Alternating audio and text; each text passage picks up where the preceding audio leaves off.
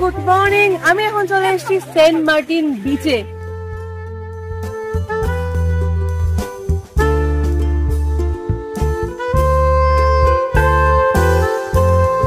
বিচটা অনেক অনেক বিউটিফুল মানে কালকে আমরা এখানে এসে পৌঁছেছি, পুরো নীল জল, তার সঙ্গে অ্যাম্বিয়েন্সটা কিছু বলার নেই।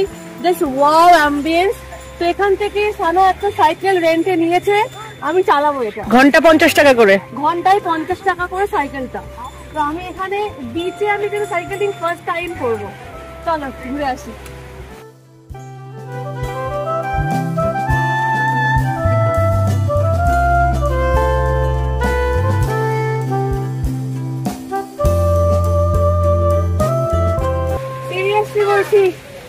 দারুণ এক্সপিরিয়েন্স হলো। আমি বিচে ফার্স্ট টাইম সাইক্লিং করলাম।